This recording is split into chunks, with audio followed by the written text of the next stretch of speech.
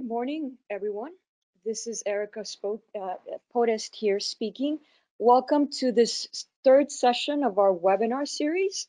Just to recap uh, what we've done in the past two sessions, they were focused on LiDAR, and the first session focused on the fundamentals of LiDAR, and we saw a presentation where um, Amy uh, showed you how to use ICESat-2 for vegetation studies, and then we had a demo on how to use ICESat-2 data, how to access and use that data. The next session, session number two, was focused on the use of GEDI LiDAR data.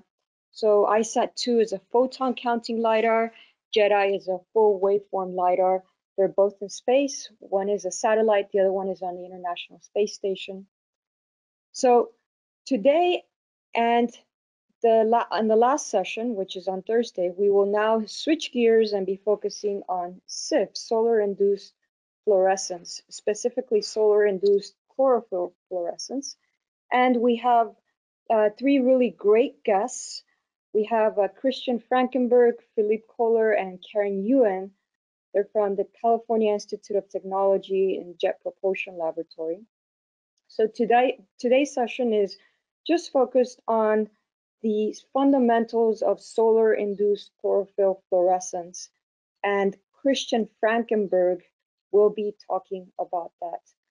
Thur Thursday session will be a demo on how to use that data uh, with OCO2 and TROPOMI, which are two satellites in space that are collecting these type of measurements. So uh, welcome very much, Professor Frankenberg. And um, Thank you everyone for attending. Remember, we'll have a Q&A session at the end. Hello and welcome to the Applied Remote Sensing Training Program. Um, my name is Christian Frankenberg. I'm faculty member in Environmental Science and Engineering at Caltech and partially also affiliated with the Jet Pro NASA's Jet Propulsion Laboratory, both in Pasadena. And today I'm going to talk to you about the use of solar-induced fluorescence to assess vegetation photosynthesis so most of what we are going to talk about today is basically uh, what to how how can we interpret solar-induced chlorophyll fluorescence measurements from space, give rise to beautiful images like the one that you've shown here, that I've shown here in the background, but then also teach you a little bit um, the techniques, how we actually measure this from space.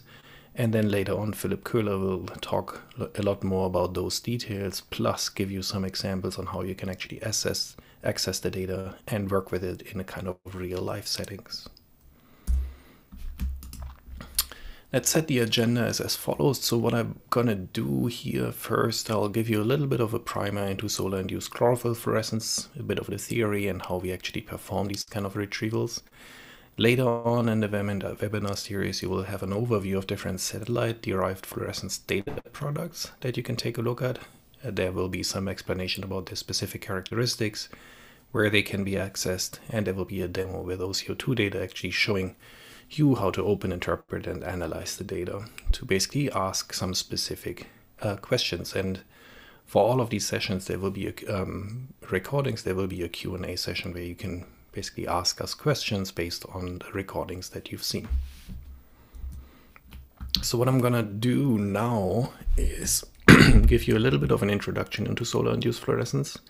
It's kind of the primer SIF 101. Um, what I want you to take home is also understand the real differences between active fluorometry, something that we typically call PAM fluorometry, and solar-induced chlorophyll fluorescence, because these are fundamentally different things and sometimes they are being conflated. Um, so it's important to really understand what the differences are and how these two techniques are used differently. Uh, then I'll go a little bit into uh, the topic as to how we measure fluorescence before I'll be talking briefly on one slide just on the limitations of using th uh, things that you should keep in mind. And I'll give you a little bit of a literature overview, what kind of papers you could read if you really want to delve a little bit deeper into the topic. So the learning objectives for today are as follows. First, I want you to understand the basic concepts of solar-induced fluorescence I want you to understand how fluorescence is related to photosynthesis and the electron transport within the photosynthetic processes that are happening in a leaf. Um, as I mentioned before, I want you to know what the difference is between PAM fluorescent fluorescence and solar-induced fluorescence. I want you to know how to interpret the measurements and apply them, and at the end, eventually, should be able to access, open, and analyze SIF data on the global scale, or also for some regional local analysis. But let me start with some motivational slides. Why are we actually interested in solar-induced fluorescence? What what science questions can we actually answer with these kind of measurements?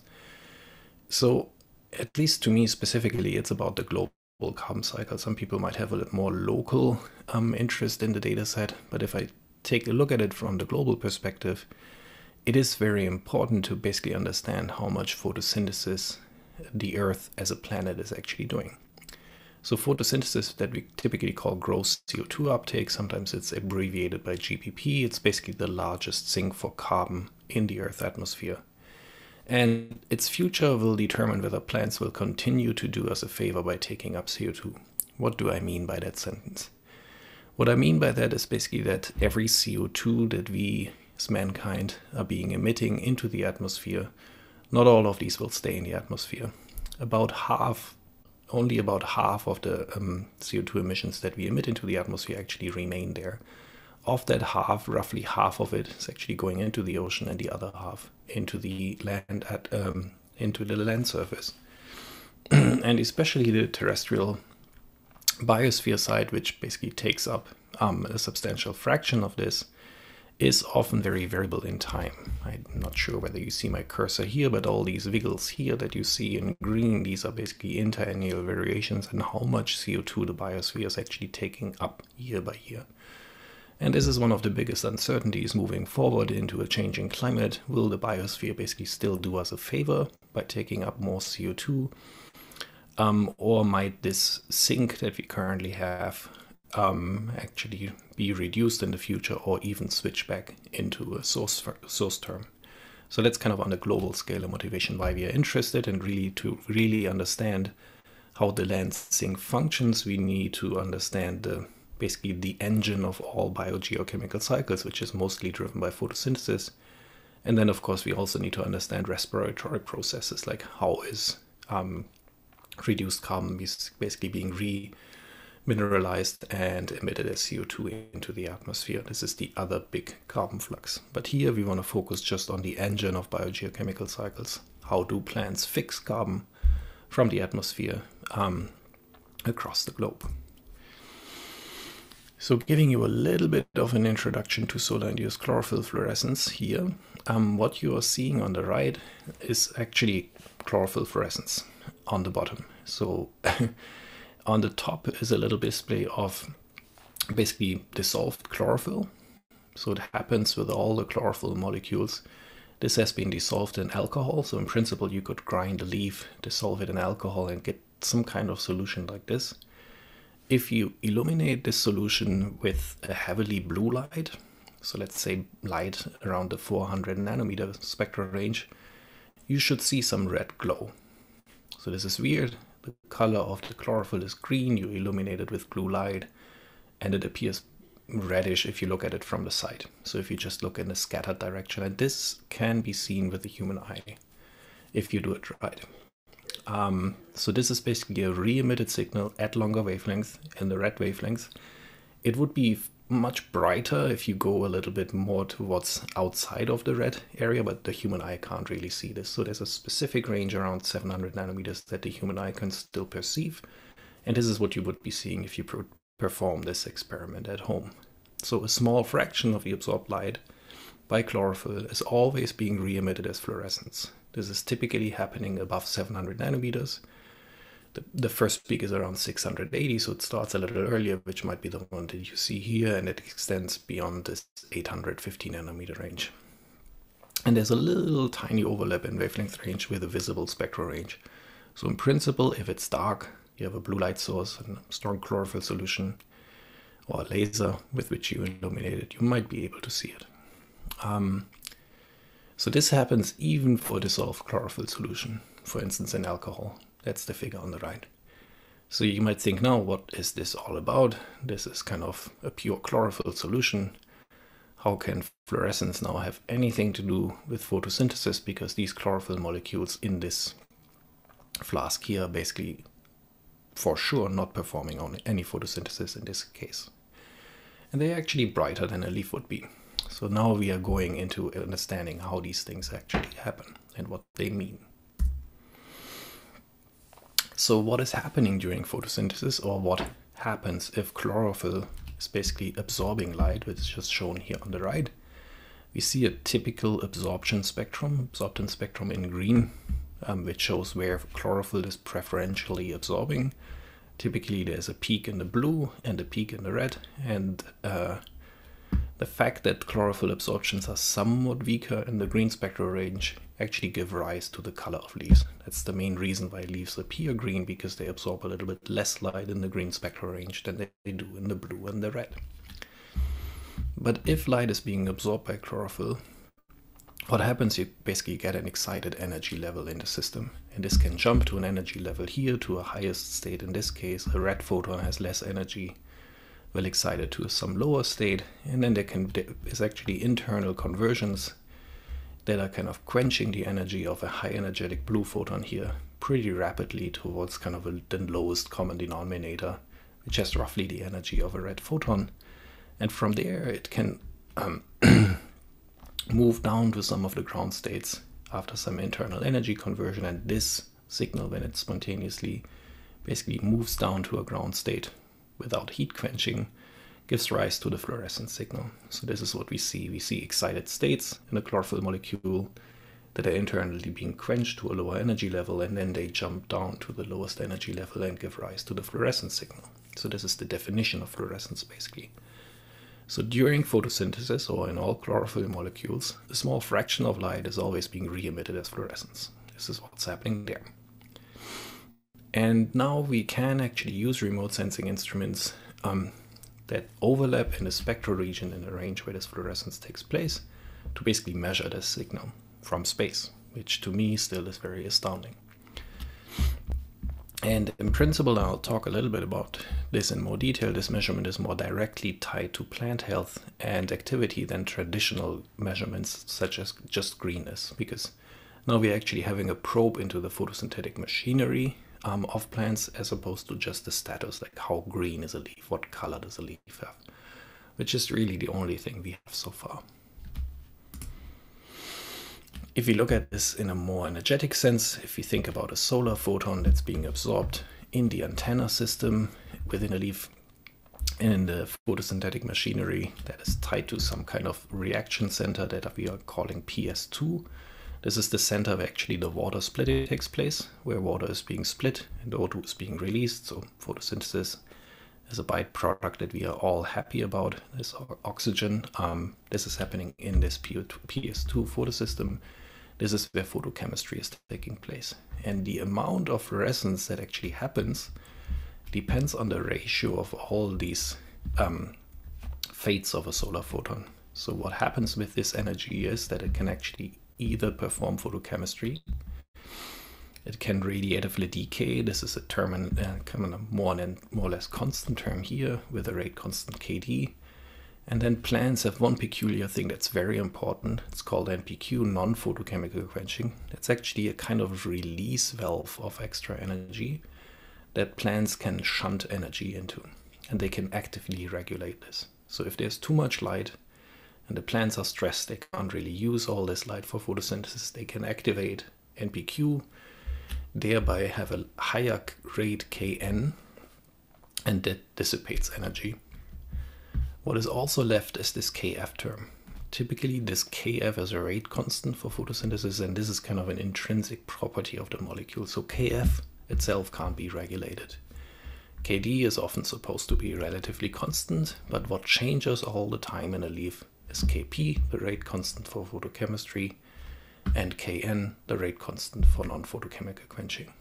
And now if we have all these rate constants competing for the fate of the solar photon, the yield of fluorescence, like what fraction is actually going into fluorescence, is the rate constant of fluorescence divided by the sum of all the other rate constants. Now you can imagine what would happen in this chlorophyll solution that I showed before in the chlorophyll solution, it doesn't have the capacity to do photochemistry anymore. It also doesn't have the capacity to really do non-photochemical quenching anymore because that whole mechanism is not there anymore. In those cases, Kn and Kp would be basically reduced, and the pure chlorophyll solution would thus actually do quite a bit more fluorescence than um, chlorophyll that is within an antenna system in a leaf, just because you remove these Kn and Kp terms here.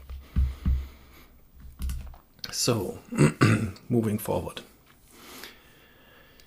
I want to go through a little bit of a Darwin review that Albert Porcar-Castell wrote to explain to you how we actually link this chlorophyll fluorescence to photosynthesis for remote sensing applications. And I'll give you a little bit of an example here on the left slide again, on the left side again, of the chlorophyll AB absorbance spectrum with the peak in the blue and the red, and the minimum minimum in the uh, in the green spectral range.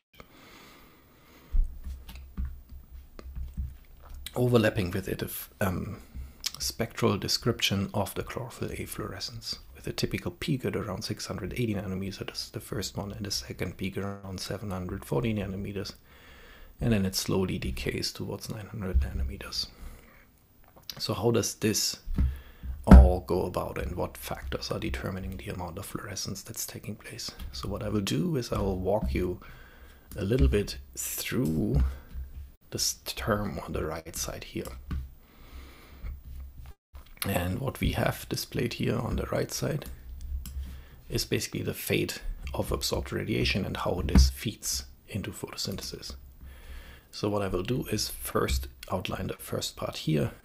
Uh, something is here written called FA par, which is the fraction of par light. So par is this whole light in this spectral range where chlorophyll is absorbing, that is driving photosynthesis. That's typically the range between 400 and 700 nanometers. And FA par is basically a number between 0 and 1, what fraction of the light that a canopy, a leaf absorbs is going into the antenna system. So the total light that's being absorbed is basically FA par times par, typically what we call A par, um, which is absorbed par. So we have this incoming radiation, fraction of this will be reflected, as we can see here on the left side, fraction of the light within a canopy is being reflected back. A little bit is transmitted, so a little bit hits the ground here potentially, but actually quite a lot in a good healthy canopy is being absorbed, absorbed. And this signal here actually gives rise to some of these beautiful reflectance spectra that we typically see in vegetation. And the structure of leaves actually gives rise to like a so-called red edge where the reflectance of a leaf will actually go up dramatically beyond 700 nanometers. And if a human eye could see in this spectral range here at 800 nanometers, all leaves would be basically almost looking like snow, very bright. Whereas in the visible spectral range, they absorb a lot of light with a tiny little bump in the green range. But there are spectrometers that can actually measure this leaf um, brightness or canopy brightness here as well. And these are basically techniques that determine something like this normalized differential vegetation index that some of you might have worked with. Just basically just looking at band ratios in the reflectance in this spectral range around 800 nanometers and in this red spectral range around 680 nanometers. So this is the fate of a solar photon coming from the sun, how much is being absorbed, because this total amount of absorbed radiation is basically kind of an upper bound as to how much photosynthesis can a plant actually do. So what happens in the next step? Then it gets a little bit more tricky because now we have absorbed light and now we have to go into the photosynthetic machinery. What does the light actually do? Where, what does it power? A fraction here is again lost into non-photosynthetic pigments, but the most important part, what the light in the leaves is doing is it's powering two cycles, both in photosystem 2 and photosystem 1, where light goes into these and basically excites um, chlorophyll molecules. And these work in a sequence. It's often called the Z scheme of the light reactions of photosynthesis. In PS2, we have this oxygen evolving complex. This is basically where water is being split, H plus is being generated, and O2 is being generated almost as a waste product. The hydrogen here basically is not wasted in that sense because it can basically lead to gradients across this um, membrane here and there's um, ATP synthase, which can actually make use of these gradients to use them to force H plus through here and thereby actually gain um, power this ATP synthase, which takes ADP and basically gives it back to ATP. So this is later on an energy currency to power the photosynthetic reactions in the carbon reactions. In PS2, this is another photosystem. It also requires slide. Typically, they are in sequence and both should absorb about half of the total light. Um, so they should be coordinated.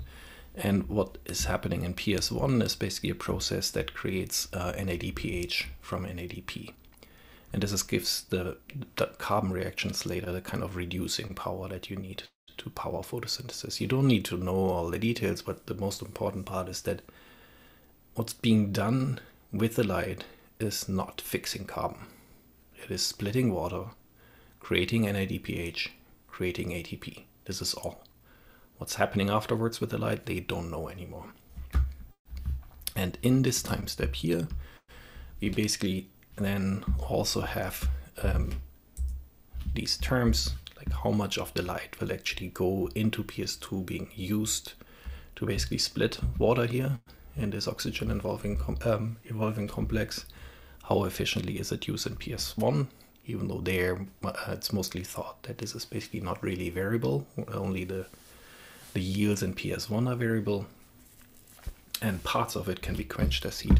So how efficiently it goes to drive the so-called electron transport chain, this is being determined here in the next step. This is basically similar to what I've shown you before.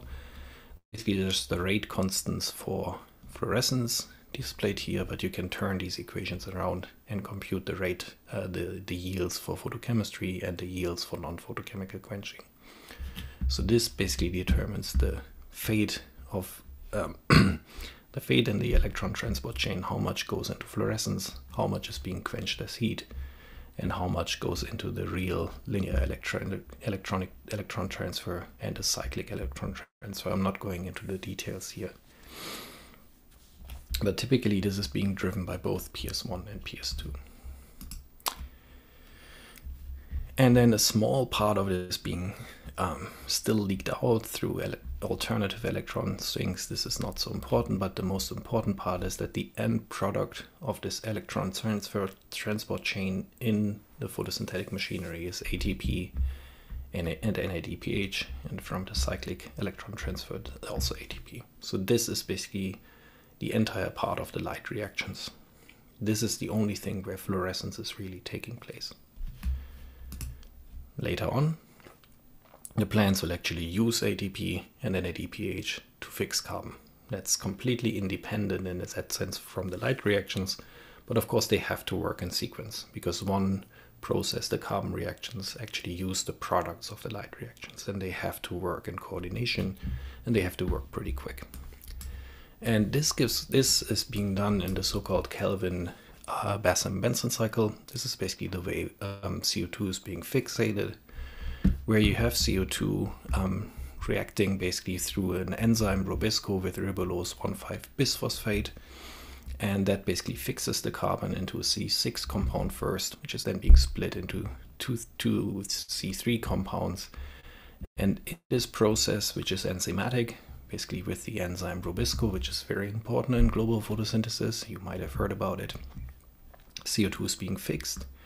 And then in several other steps, um, these energy units that have been kind of gained in the light reactions, ATP as an energy unit and NADPH as reducing power, basically fixes carbon, um, creates sugars, along the line and actually regenerates this ribulose 5 bisphosphate at the end of the day. And then it goes in kind of this um, cycle part where the phase one is carbon fixation.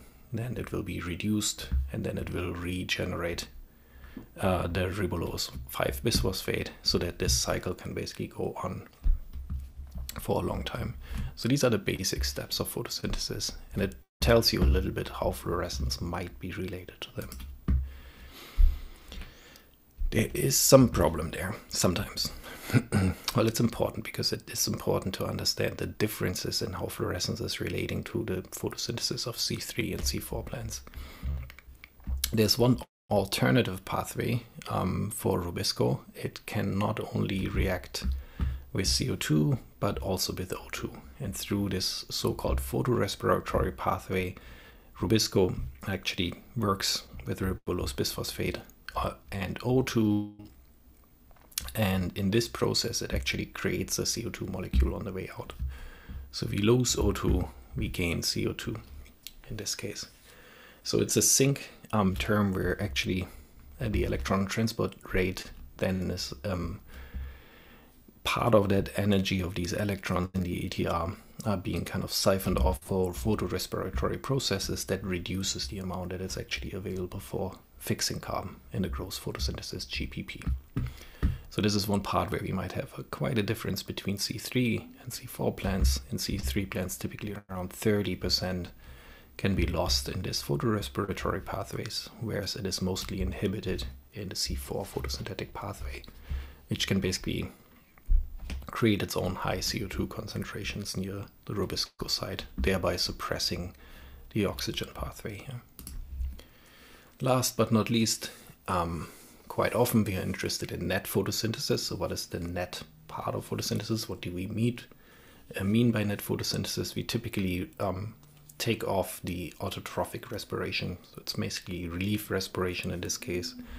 So if you have GPP getting in, if we take out the plant respiration, we are left with the net primary production. And then we can also look at heterotrophic respiration. I'm sorry, that can be reduced. This gives rise to kind of the net ecosystem exchange. And in the end, if we also take into account longer term effects, we can um, define the term NECOX, net ecosystem productivity. So, but for the case here, we mostly want to stop at the NPP term. So if you have GPP and then just want to uh, see what is the net gain win of plants in terms of CO2, basically just have to take into account autotrophic respiration pathways in the plants, which, which ends up uh, with the term NPP. As a rule of thumb, it's typically about half of the GPP that end ends up as NPP. This is just as a rough ballpark number, but quite often it works out pretty well. If you think about the fate of a forest, um, this so-called NPP to GPP ratio is not always the same. Um, this is just one example. I always try to refer to references here in the bottom, which just shows like the annual carbon flux in terms of GPP and NPP uh, for forest with different age.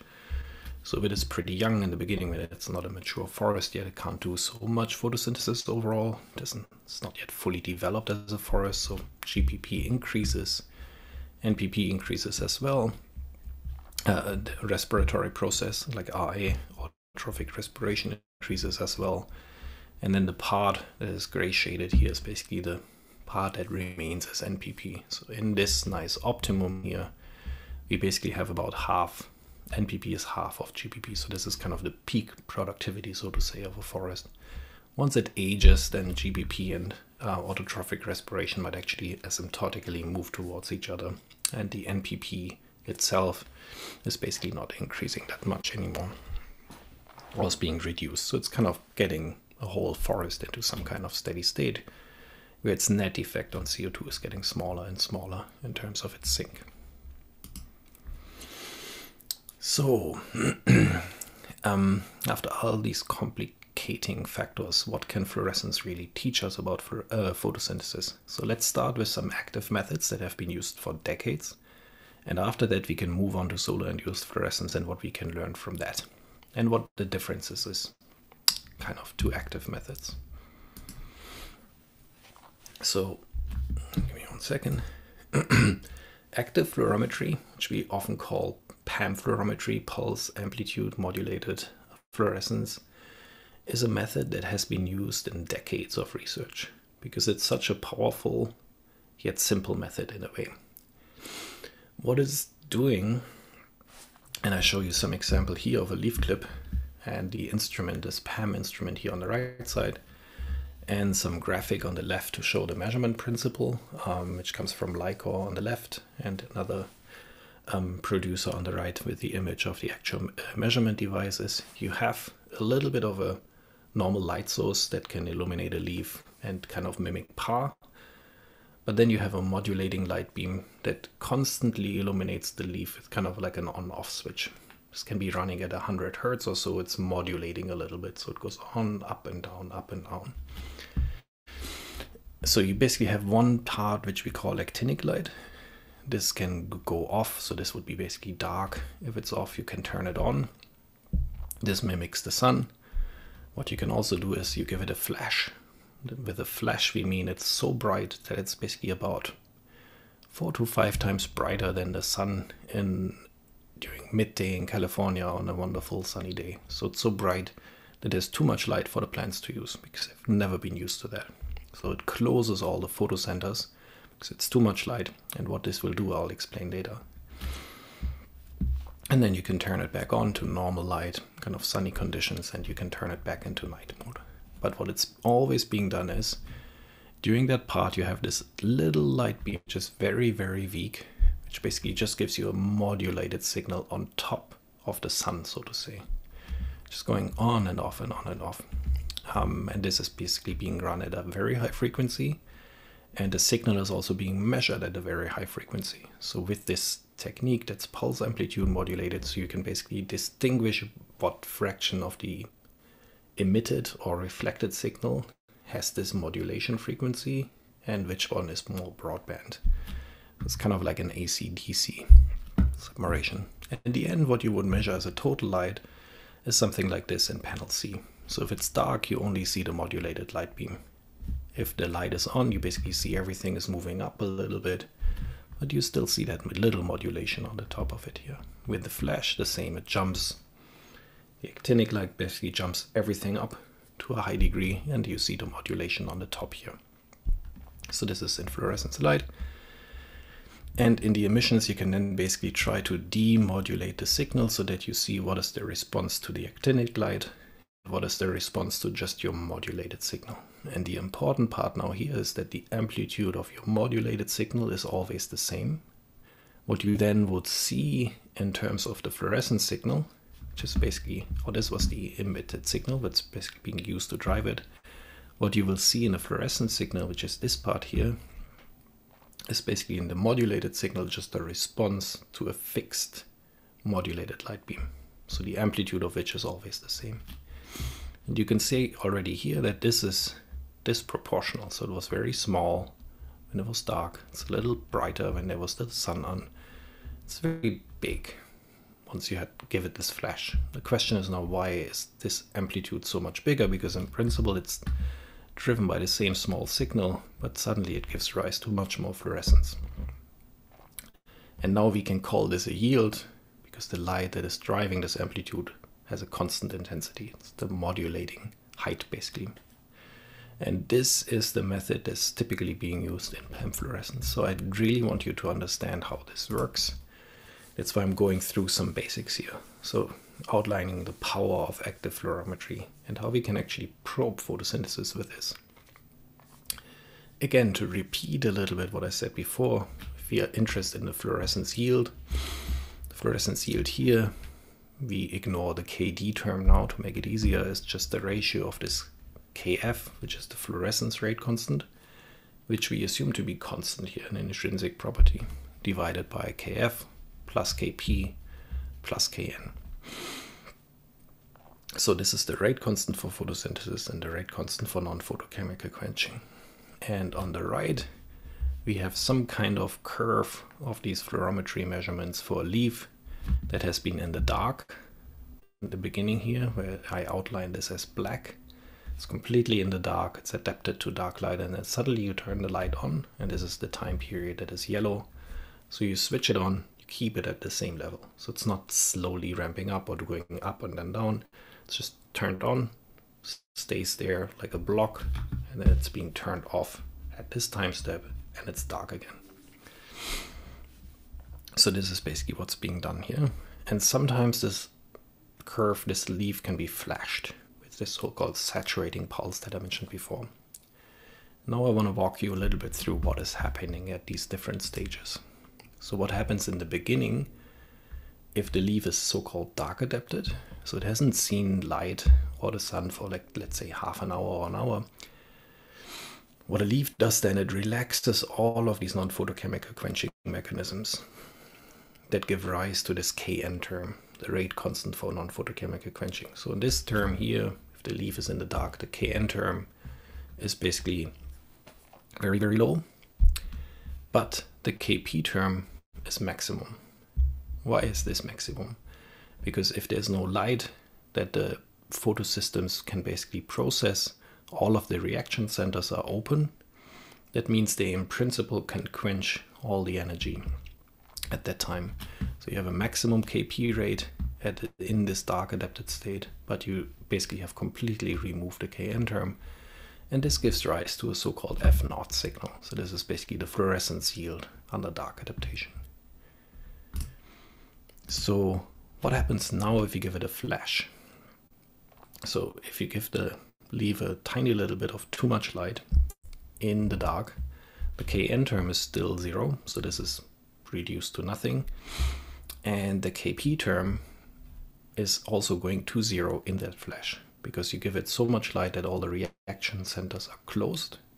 So the processing through of electrons through the electron transport chain is basically being blocked. So Kp is being set to zero or near zero in this case in most cases. Because it's hard to really get it down to complete zero, which then gives rise to kind of this maximum fluorescence yield. So typically we should add a KD here so that this doesn't go to one. But this is basically the maximum fluorescence yield that we could get in this case. This is what we call FM in this case. The M is always during these saturation pulses. And it, the main reason to do these saturation pulses is to set Kp to zero because only then can we really probe what the Kp is under normal conditions. And how this works I'll explain now.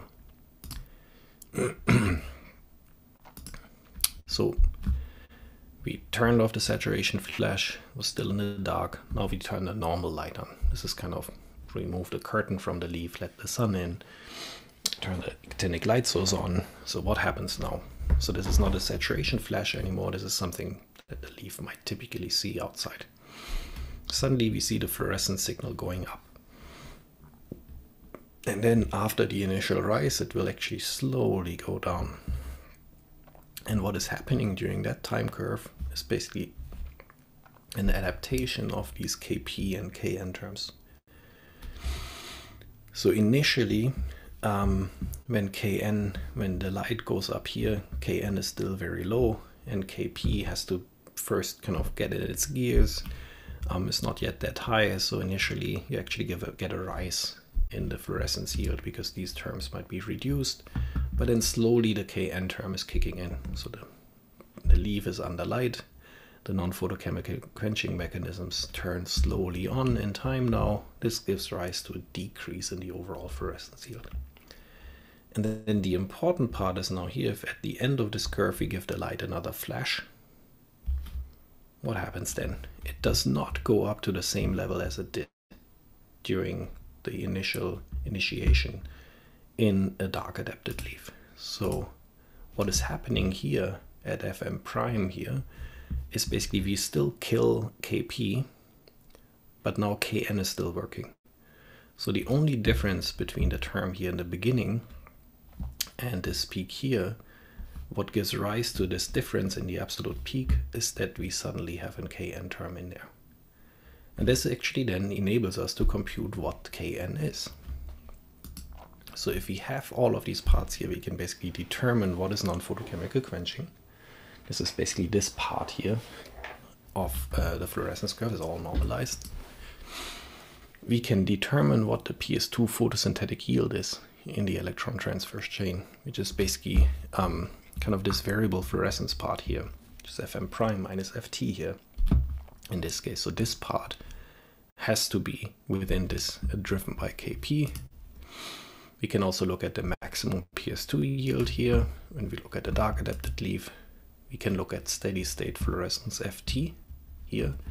This in principle should be normalized by the um, amplitude of the modulating light beam typically this is all working in electronic units, so people are not interested in the actual units in PAM but just the ratios between each other. So that cancels out all unit aspects. So it's never really fully calibrated in terms of giving you absolute radiances, which is what we typically need for remote sensing purposes. And the only thing that we actually can measure from space, it's not strictly FT.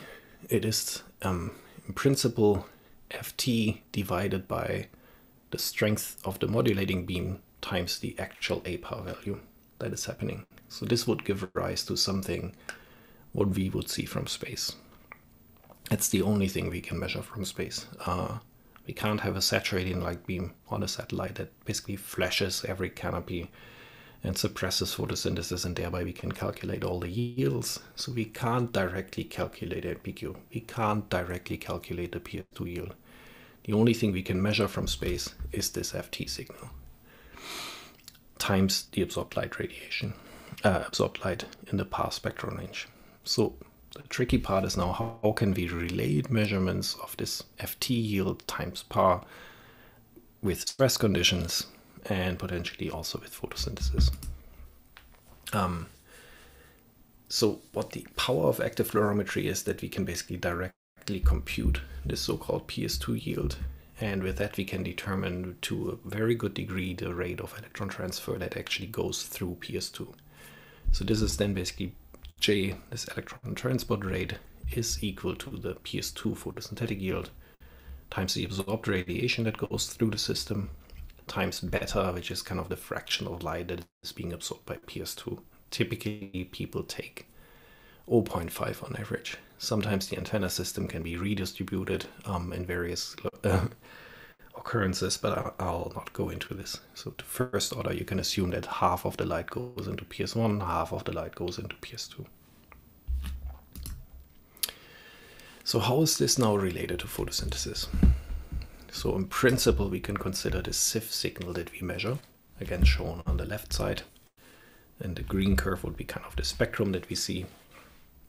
It should be proportional to the amount of light that a leaf sees times the fraction of light that is being absorbed by, by the antenna system times the yield of fluorescence. So this is basically the photosynthetically active radiation times the fraction of part that's being absorbed times FA par. This can be estimated from kind of vegetation indices roughly what this fraction should be. GPP, on the other hand, is also something very similar.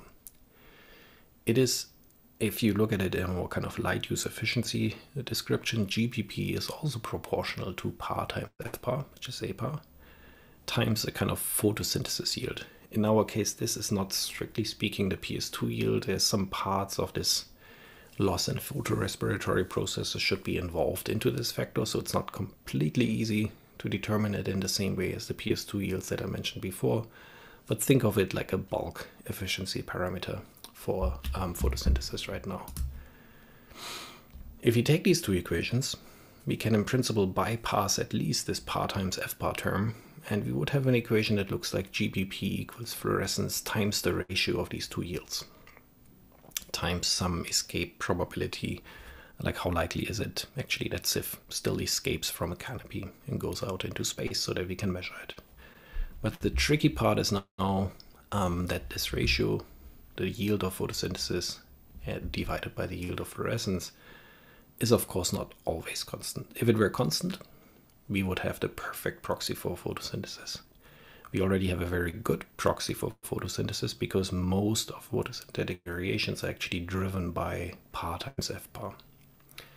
Now I want to delve a little bit deeper and look at what how these ratios in the yields are actually changing as well. And this is just to give you one example here uh, where we plot the typical quantum yield of photochemistry on the bottom on the x-axis and the quantum yield of fluorescence on the y-axis. And what you typically have is that it always depends on the state of NPQ. If NPQ is low, both photosynthesis and fluorescence basically compete for the same kind of resources, so they are anti-correlated. This is typically happening here, so if the photosynthetic yields are high, NPQ is low, the two yields are anti-correlated. This would not be good couldn't really be fluorescent signals shouldn't be anti-correlated with, um, with photosynthesis in this case. But once non-photochemical quenching kicks in, and this typically happens when the sun is out, so not, not in the early morning or late afternoon um, situations, but midday, non-photochemical quenching typically kicks in, and then these two yields are correlated with each other. So this is important to note that this ratio of these two is basically correlated under highlight conditions and anti-correlated under very low light conditions. But under these typically higher light conditions during middays, they should be correlated with each other. One thing this is important to note, on the right hand side we have kind of averaged measurements that we basically took on avocado plants in my backyard with a PAM system, um, showing exactly the same feature as this one here, which was on conifers. Um, so in the beginning, if you have low lights below, this is all below 100 micromole per square meter per second at par, you have this anti-correlation. But once you get light on these leaves above 300 micromoles, these are anti-correlated.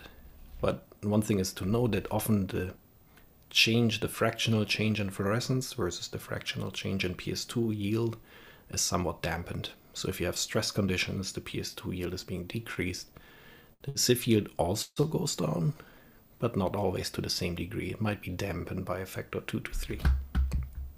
But overall, this correlation that is happening here is a reason why fluorescence also probes to some degree vegetation stress and not just greenness and not just APAR. Just have to be cautious that in some conditions these yields might be anti-correlated. So we have to make sure that we are measuring in the right conditions. And we also have to see how these yields respond to different environmental conditions, be it water stress or other activities. And with that, I want to move on to how do we measure SIF. It's basically now from the theory of what SIF means to the means of measuring it. It's basically a broad overview of how we can actually measure this fluorescent signal. Um, this all follows after the theory that I've explained before. Now we actually look at it, how we measure this from space or with any remote sensing instrument because we can't really afford these measurements that a PAM fluorometer is doing, which basically only measures this fluorescent signal by having this modulated light beam and separating the wavelength ranges completely. So the problem that we now have, how do we measure this faint glow remotely? Um, if you think about fluorescence from plants, when do they happen? They only happen if the sun is out. If the sun is out, the sun is also very bright in the 750 through 800 nanometer range. So you can imagine a problem that is similar to you having like a really low low wattage light bulb and you turn it out you turn it on in the middle of full sunlight in the middle of the day. You will hardly see it.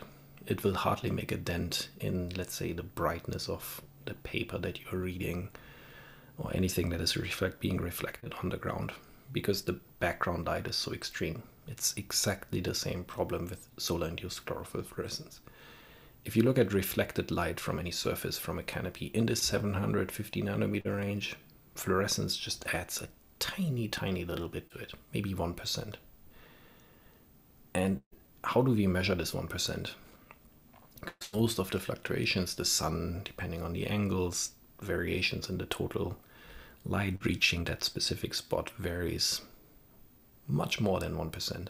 The surface albedo of a spot might be changing by way more than 1% from one overpass to the other. So how do we know what part of this light that we measure actually belongs to fluorescence versus just some random fluctuations in the reflected radiance because maybe the sun was a little shaded or the reflectance actually changed. So this is basically our main problem. How do we measure something if the background signal is so large? In principle, this problem goes back to something that you might be familiar with um, if you look at minerals um, um, that basically glow as well. They also show often fluorescence, typically in the visible spectral range, and they absorb the light in the UV spectral range. How do we make those visible?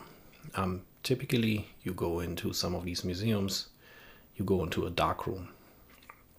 in this dark room. You have minerals, you're not swamped by outside light that you can see, and then you turn on UV light. UV light you can't see, so it's still dark for you. But the minerals absorb UV light and re-emit the light in the visible spectral range. So you suddenly you can immediately see it because there's no background light. But once you would open the curtain, let the sunlight in, you suddenly would not see anything anymore. You would see the minerals as they would look in bright daylight.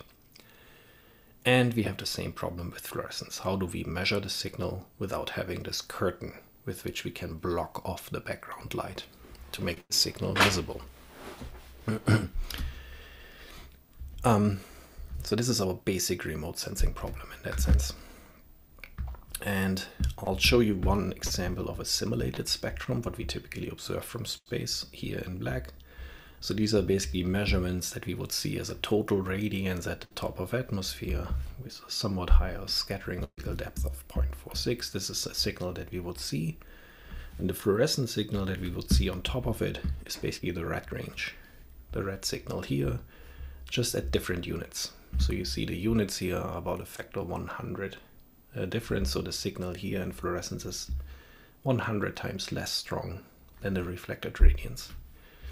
But it's basically emitting almost everywhere in the spectral range. Typically, we have this decreasing slope in the spectral range, and it's also being reabsorbed within the atmosphere by oxygen. So this is a typical oxygen absorption feature. But there are some peculiar features in here that I'll go into later, because these features don't absorb the fluorescence um, that is being re-emitted from the surface because these absorption features don't come from the Earth atmosphere. They basically already happened in the sun, and we call those lines solar Fraunhofer lines. So what I want to show you first is how we can actually make this signal visible in the laboratory. Because in the laboratory we can devise our curtain. And this is one thing that we developed in one of these typical gas leaf exchange measurement systems how can we develop a curtain? We can do it in a way by having a sun, which we model as an actinic light source. So here would be a leaf in a kind of leaf chamber. And we put a short pass filter in here. So we block off all the, we only let light pass that is lower than 675 nanometers. So now we have a curtain in spectral space. It's like the curtain in the mineralogy museum. You illuminate it with UV light that you can't see now we just illuminate it with light lower than 675 nanometers, and then we have a fore optics in there, in there, and only measure light that is being emitted beyond 675 nanometer. So in this case, it can't be coming from the light source. So everything that we measure above 675 nanometers suddenly has to be fluorescent. It has to be generated within that leaf because we didn't use that wavelength to illuminate the leaf. So this is what's happening here. This way we can make this absolute solar-induced chlorophyll fluorescence signal directly measurable in a leaf chamber. And this is one system that we basically redeveloped here. A paper is being mentioned here, led by Troy Magney. We can do this, so we can do still the active PAM fluorometry in this coupled system, but we can also feed it back to a fiber that basically measures the spectrum directly. And this is now looking at the absolute fluorescence coming out in this so-called FT signal in the bottom here. And for FM, if we give it a flash, this is also something we can measure. And this is being measured here in this term for these FM spectra that are reacting to the flashes. So now we don't just see a one constant value, but we can actually see the spectrum emanating from a leaf with this system. just to give you some examples here, um, for FM and FT values, so to say, um, under different conditions. So typically the FM values here, if you de if you basically increase the ambient par light, the FM values will go down. Because now FM is kind of more or less normalized because we always use the same saturation flash. This is exactly what we are kind of expecting from a PAM-like system, but now we can see it spectrally resolved. And this downregulation in FM is basically affecting all the different wavelength ranges almost equally. So it's actually hard to get any gain any information from the spectral shape here. And for f lambda, which is actually now reacting to the amount of actinic light, this f lambda signal, which is the absolute fluorescence, basically what we would see from space, is of course increasing with ambient light. But under some stress conditions, we basically see here in this experiment that the F signal here, the SIF signal, is also going down to um, compared to the initial levels here if it is under somewhat stressed conditions. So there is some information in here on the stress level as well. But I would refer to the paper to go into more details if you're interested in.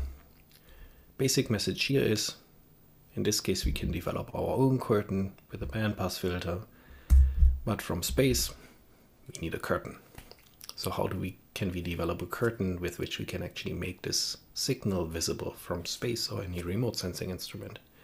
Because we can't put a bandpass filter or a short pass filter on the top of the atmosphere to make sure that the sun is not illuminating us with any light above 700 nanometers. So we need a dark room. And we have a dark room, not a black room, but a gray room. Not kind of physically, but in spectral space. So these Fraunhofer lines that I talked about are kind of our dark room. We have a dark room in spectral space.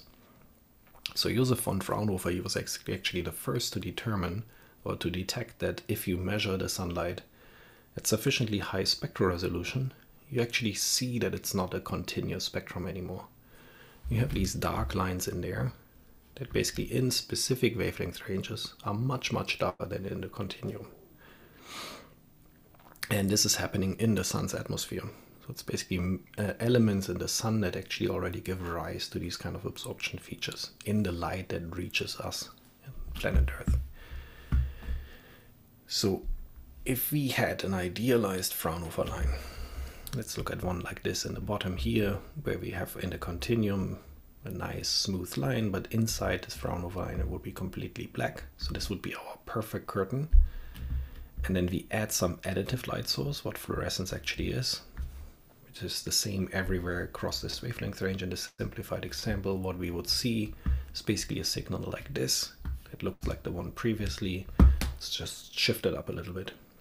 If we had a spectrometer that would just measure in this wavelength range in the middle, all we would see would be purely fluorescence because it can't have been come from come from something else because it was in this line when the sun was not emitting any light. What happens though is also that the depth of this line is changing. So this high intensity or radiance inside that band divided by outside of that band in this continuum here changes. In this case, it changes pretty dramatically um, because it was basically go almost zero transmission within that line, which is not what we have, unfortunately, in the sun. But even if it would be having 50% transmission, it always changes this ratio of inside divided by outside, which is kind of a normalized depth of the so-called Fraunhofer line. So how would that look like with a real Fraunhofer line, where transmissions can be between like 30% to 80%. So how can we make use of those as kind of a, our dark room? So I made up a Fraunhofer line here. Looks like a Gaussian shape. This is all flat to make it easy, but it absorbs light in the middle, so it looks like this. What happens if we have solar-induced fluorescence? Let's assume there's no spectral dependency on that signal. All it would do is move the signal up a tiny little bit by 1% in the continuum if you have fluctuations in light or reflectance, it would not shift it up by 1%, but it would roughly scale it with 1.01. And you would see a similar signal, but not exactly the same. Because once we take the ratio of this green and reddish line now, we would actually see something like the blue one. And you see that it's not straight, it's not a straight line it is a little bit higher in the middle. So this is why we call it sometimes the infilling of Fraunhofer lines. If you take this ratio spectrum, you see a tiny little bump. And what we are doing is actually we are trying to measure these tiny little changes in the depth of these Fraunhofer lines to determine how much fluorescence must have been in that signal to get the measurement that we actually observed. And this we can use doing fitting routines basically. So we fit an entire spectrum over multiple Fraunhofer lines to basically determine this so-called infilling. So we fit this infilling and thereby we can determine the quantity of the fluorescence emission. We basically use these dark lines as kind of our curtain. And for that, it actually doesn't really matter whether we are looking at a leaf, at a tree, at an ecosystem or a hemisphere. The total emission that we measure, the strength of the light bulb, should be unbiased. That's one key advantage of this fluorescence technique, that we are scale independent in a way. So if the satellite would look at a pixel that is half a city or just buildings and half a forest, it would really just measure half the signal compared to the same pixel that would be covered with the entire forest. The same kind of forest in both halves of the pixel. This would be different if you looked at something like an NDVI index where there's nonlinear mixing effects in there and you need homogeneous pixels in there. This is a problem that we don't have. Snow, we wouldn't see. For instance, it would not be affected by that. The other big example is that this additive signal fluorescence is also less sensitive to scattering effects in the atmosphere. If you've ever landed in a big city with an airplane at night, and sometimes you have like cloudy conditions and you have the street lights still going on, and airplane is above the clouds, you sometimes see the glow of the city light through the clouds. It just looks more diffuse. In principle, if we were to look at chlorophyll fluorescence, the same thing would happen. Under moderately thick clouds, we can still see this glowing fluorescent signal through moderately thick clouds. Just that the spatial kind of sharpness of the signal would get lost. But to be honest, we are measuring only at kilometer scale anyhow, so we don't really have a sharp picture to deal with in the first place. So this might be a moot point, at least for fluorescence research, because we are still working at relatively coarse spatial scales. So how do we measure this? It's basically exactly using this kind of infilling technique. And what we use is typically these wavelength ranges here around 755 nanometers. These are just by chance because, especially in the beginning, because this was a wavelength range that some of the high resolution spectrometer that are supposed to measure CO2 in the atmosphere, like the OCO2 mission or the GOSAT mission from the Japanese, um, were providing, and we can use the infilling of these lines to basically measure the fluorescent signal from space. There's a reference here in the bottom as well if you're more interested in retrieval details. As a tiny overview into the history and evolution of these measurements, Philipp will go into more details into those later. These were kind of the first measurements that we have obtained from the GOSAT satellite. It was actually two papers coming out at roughly the same time from Joanna Joiner one and from our group as well we basically developed methods um, to measure fluorescence from space first on the GOSAT satellite, which is a Japanese satellite. And the first time we looked at the signal, we got an image like this. Um, now we laugh about it. At that time, this was great because this was the best thing we could ever hope for. So this is the fluorescence signal on a global scale.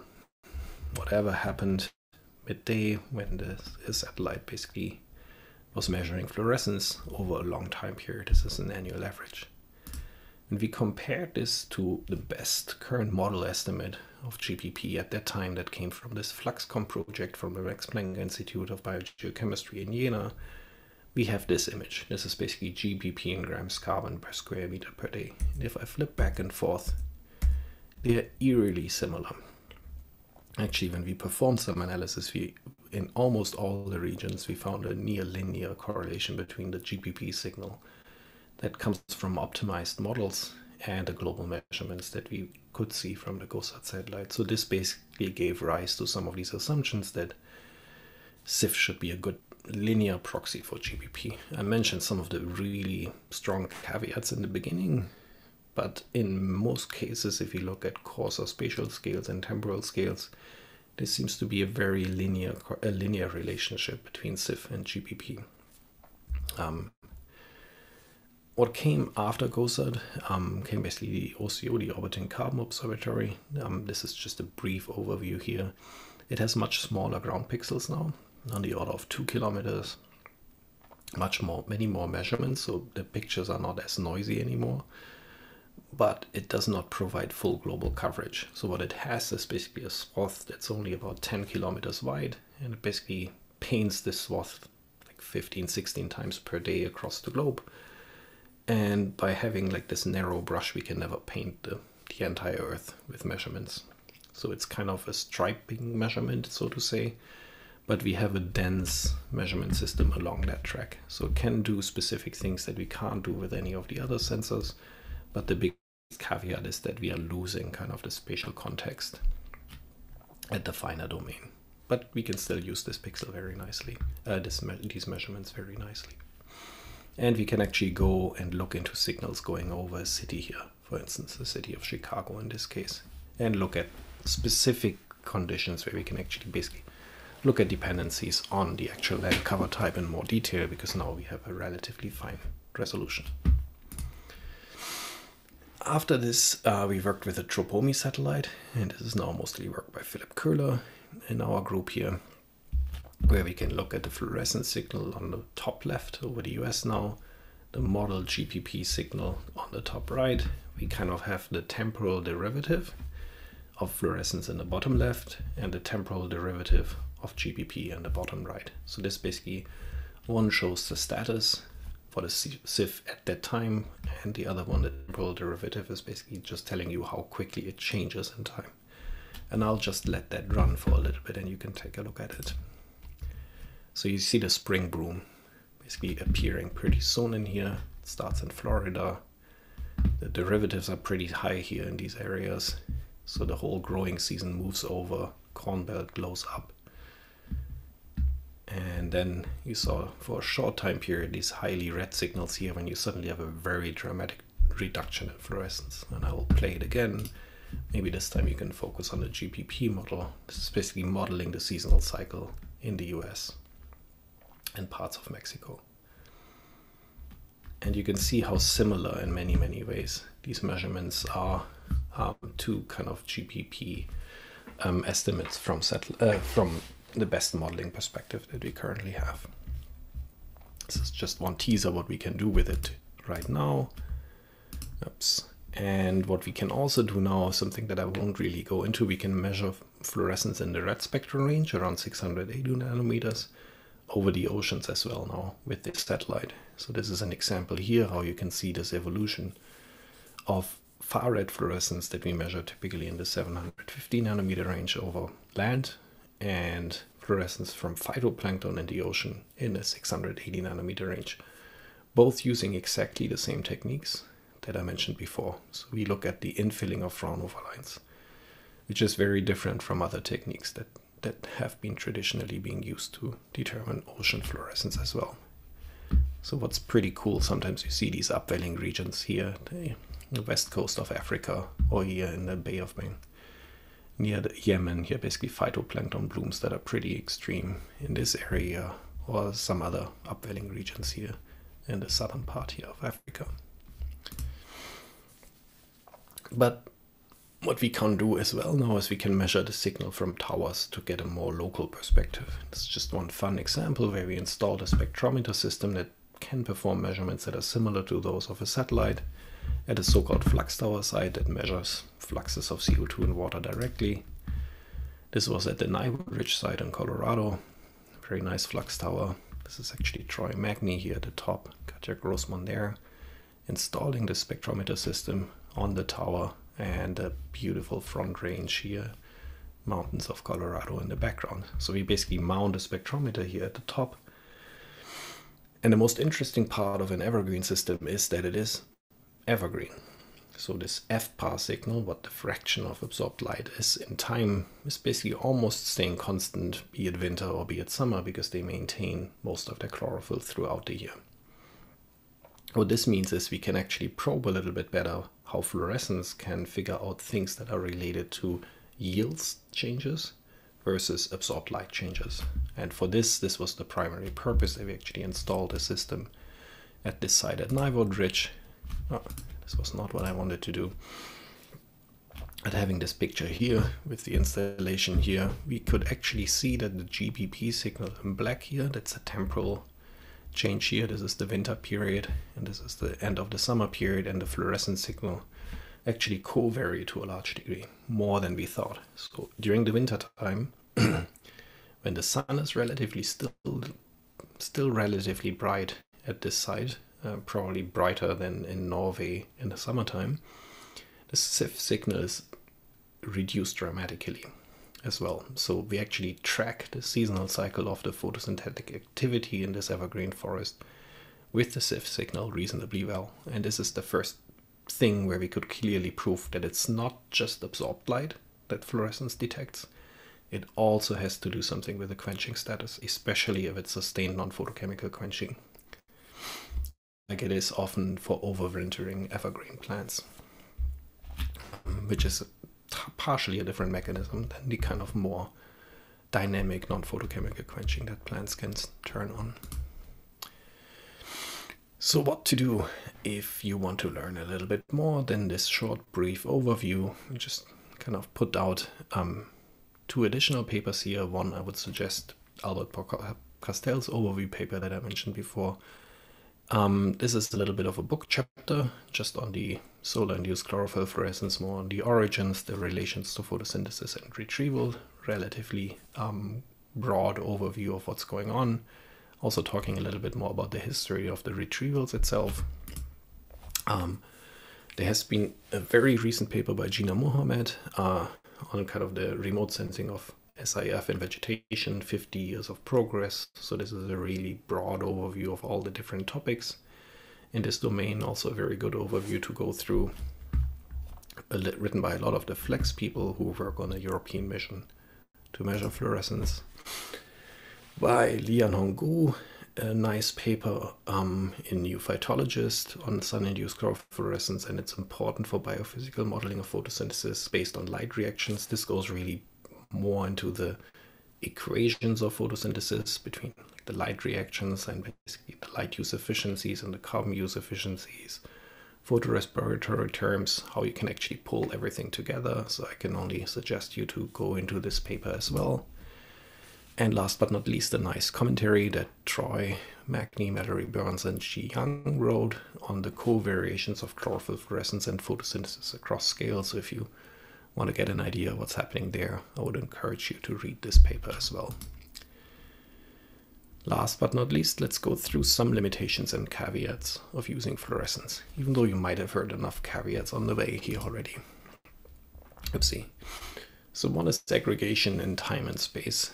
Um, so GPP and SIF show a surprisingly good linear correlation. So if we have it aggregated, this is a good point. Um, However, we should not conflate SIF to be always perfectly proportional to GPP, especially on short timescales. And the papers that I mentioned before will basically outline this a little better, especially on something like diurnal timescales, because typically peak GPP values kind of tend to flatten off with light, whereas the fluorescence signal will not really flatten off that much. Or if there's, uh, there's down regulation happening due to stress, the linear relationship can break down even though at larger spatial and temporal scales we typically see a very good linear relationship. It might break down under stress conditions and shorter time scales. We still also have lots to learn about the relation of PS2 and fluorescence yield under different conditions. So in my mind, there's still some research that is needed under different environmental conditions, even at the leaf scale, even at the yield scale. The other part is fluorescence retrievals are not easy um, and the data is noisy. So some of you might not be used to that. If you've worked with indices like NDVI or EVI, they typically always look very sharp. So they don't really have a precision problem where the signal itself is noisy. But sometimes it can be inaccurate. So it looks sharp, but it's wrong. Um, what we have with fluorescence, it's often accurate but noisy. It's like a grainy old digital camera that's always has a bad detector chip and it always looks a little little grainy and noisy. And this is one thing that hampers our retrieval. It's just there by nature because we have to measure this little infilling, which is tiny. So we need a good spectrometer where we need a super high signal to noise ratio in the spectrometer to actually see that signal at all. So the retrieved fluorescence is by nature noisy. We typically provide and give you estimates of how high the noise is, like what's the uncertainty in each measurement. We provide this with the data. So look at it and see whether any changes that you see are actually higher than the noise. So the noise should be handled properly.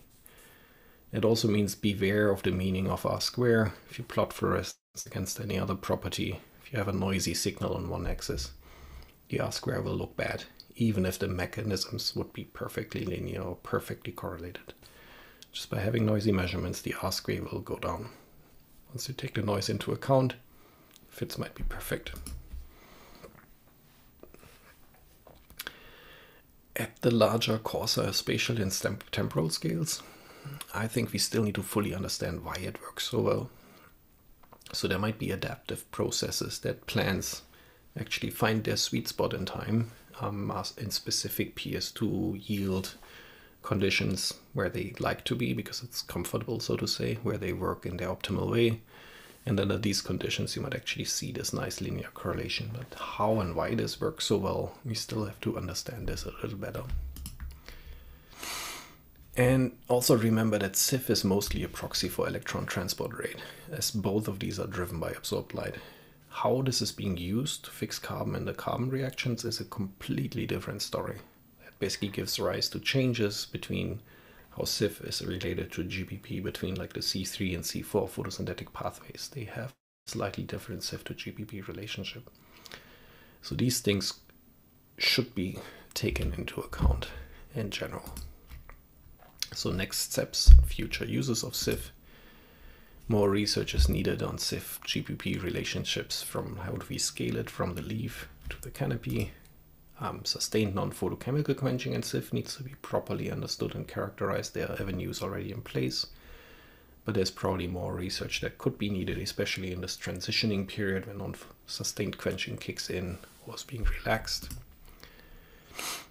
Ideally, in the future, we want to combine the measurements of SIF with other metrics to basically break the caveats that I mentioned before. This could be done through, let's say, measuring transpiration, which gives you some proxy for stomatal conductance and thereby also GPP. Could measure the photochemical reflectance index, which is more tuning onto this NPQ mechanism. If you get some of the other variables a handle on kind of the stress level, you might be able to use SIF much better determine GPP. We could work towards measuring diurnal cycles from space. Right now, we can't really do that.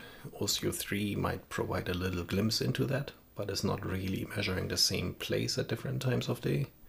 So what can we learn from SIF at shorter time scales? That's also one reason why we look into tower data. Make use of SIF signals at different spectral positions. We found that in terms of the intrinsic SIF being emitted from chloroplast, this is probably relatively hard to do, but it might tell us something about the chlorophyll reabsorption within the canopy. So it, it probably bears a lot of um, signal strength in kind of the, the structural effects that determine SIF in different wavelength ranges. Also take a look at FLEX, which is basically will be the first dedicated fluorescence mission um, by ESA. And I put down the link here. They basically triggered a lot of the fluorescence research with their proposed instrument. And be innovative.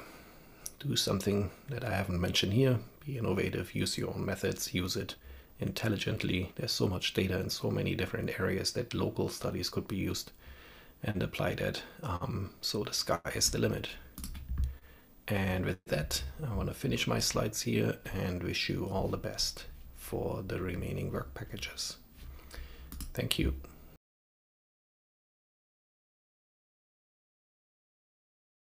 Excellent. Uh, thank you very much, Professor Frankenberg, for that thorough uh, review on SIF.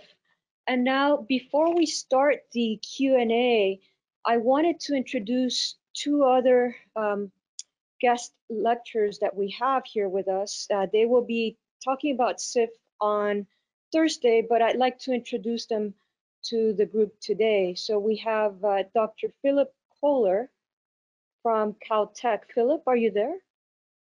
Can you can you please uh, introduce yourself? Hi, uh, can you hear me? Yes, loud and clear. Ah, perfect. So my name is Philipp Köhler and uh, I work in Christian Frankenberg's group and I'm mainly responsible for running all the solar-induced chlorophyll fluorescence retrievals. So my latest products are from Tropomi in the red and far red spectral range. Great, thank you very much. And we have uh, Karen Yuen from the Jet Propulsion Laboratory. Karen, would you please introduce yourself? Hi, good morning, everyone, and good afternoon. I hope you can hear me. Um, I look forward to speaking with you all on Thursday, and thank you so much for joining us. And I want to thank you all on behalf of um, the OCO2 and the OCO3 projects. Thank you. Thank you very much. All right, so we have been gathering the questions that you've been writing on the chat box, and we have been compiling them into a document that you should see on your screen now. And what we'll do is we'll be working down these questions and, um, and answering each of them. If by any chance we cannot get through all of them, we will be posting this document online in the next uh, couple of days. All right, so let's start with the first question. Question number one, is there a direct way to measure net productivity from SIF or does it work more like NDVI? Go ahead, Christian. Oh, my apologies. Um, so I can just outline my response here again. Um, so in principle, fluorescence only represents processes that are happening in the light reactions of photosynthesis. So it doesn't capture anything that has to do with respiratory processes, be it in the leaf or from the ecosystem itself. So neither autotrophic nor heterotrophic respiration. In principle, the only thing you could do to alleviate that problem is use CO2 flux measurements at the same time so that you can disentangle net fluxes from gross fluxes. But this is kind of the only thing you could do. Um, however, I should stress that fluorescence is more than just NDVI as it captures basically the true green part. That means the absorbed light only by chlorophyll molecules, nothing else. So the branches or other things are not being included. Um, plus, we can also capture some of the yield effects, as I mentioned in the presentation before. Great, thank you. Uh, question number two, can you estimate SIF using hyperspectral data? Uh, that's an excellent question. In principle, yes. It depends really on the spectral resolution and the observing geometry. Um, so if your detector is right above the canopy, um, you might be able to work just by looking at the infilling of uh, oxygen lines, dioxygen lines, um, which are broader in that sense that you can probably get away with a spectrometer with about one to two nanometer spectral resolution. So this is what you have, you might be able to pull this off from directly above the canopy. Doing this from space will be much, much, much harder because then you will also have to take into account O2 reabsorptions and a lot of the scattering effects. So it really depends on the geometry, but in principle, you don't need the same kind of high, super high resolution and high signal to noise instruments that we have in space if you are right above the canopy. Okay. Question number three, what is the earliest data in terms of years that I can get? That, that's a good question. Uh, ironically, it goes back further than when we started detecting it. so there's a website that, that we posted here that you can follow uh, climatesciences.jpl.nasa.gov slash SIF, um, which is a measures project from NASA to actually make all the data available that we have for fluorescence at the moment. Um, and the earliest data that we basically have right now starts around 1995 from the GOME satellite.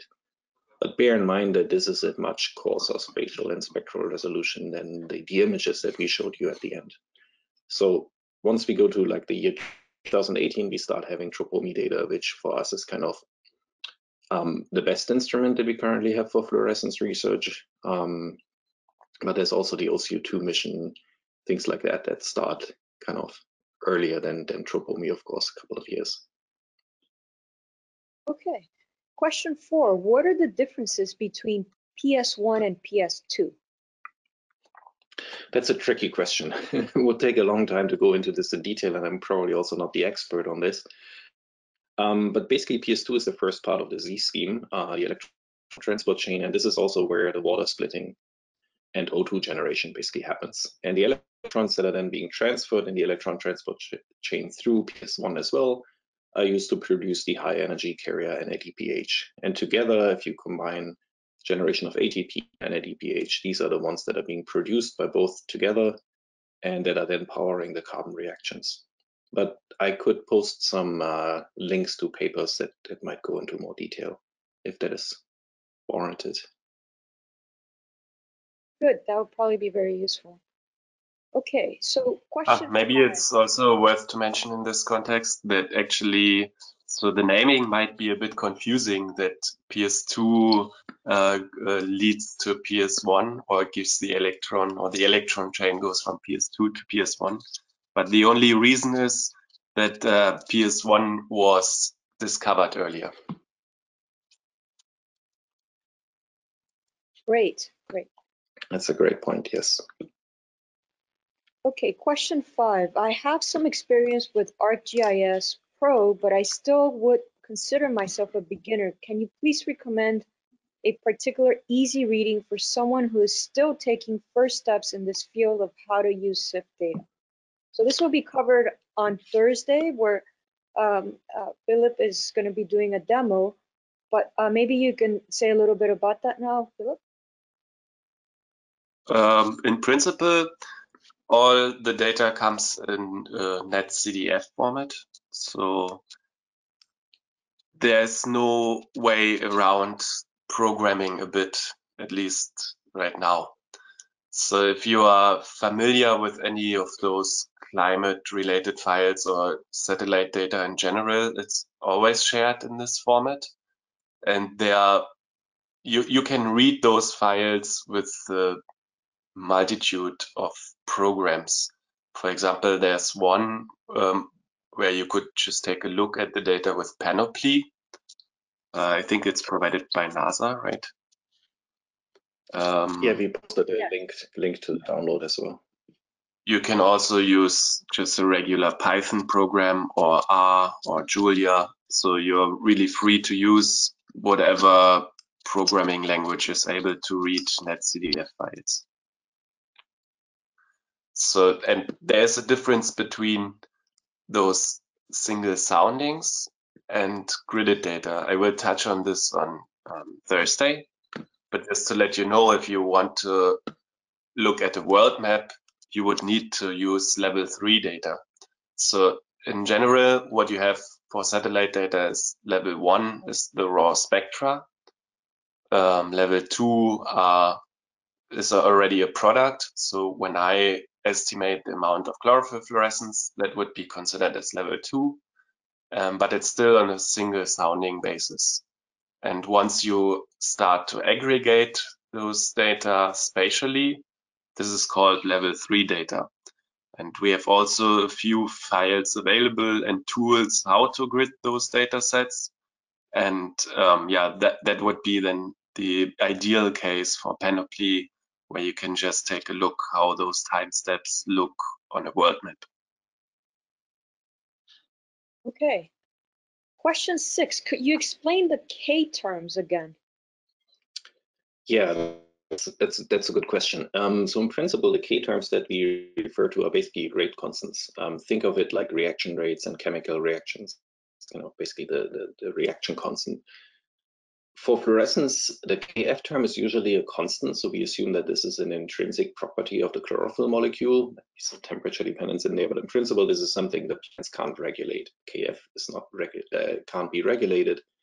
However, the fluorescence yield can be regulated by just changing things like the rate constant for photosynthesis, which basically depends on how many photosystems are open at that time, and the so-called non-photochemical quenching decay NPQ, which is kind of like sometimes call it the pressure release valve. so if there's too, much, too many electrons flowing into the system, you not, kind of need to dispose them by some way or fashion. And it's typically being actively done through the Kn term. You can think of some kind of bathtub analogy where all the electrons are kind of the water flowing into your bathtub. But now you have like three or four little exit holes and they can all be called, one of them is Kf, it's a constant pipe diameter the other ones is Kp and Kn that you can actually open and close. And depending on how much you open and close the other ones, it will basically determine a little bit how much is flowing through all the other outlets, if that makes sense. Great. Question seven, which caveats uh, do you mean to use the NDVI to calculate GPP? So there's a few things. One is that NDVI is only a rough proxy for absorbed light in the photosynthetically active uh, spectral range. It's a so-called greenness index, even though that's also kind of a misnomer because there's actually no green band being used to determine this.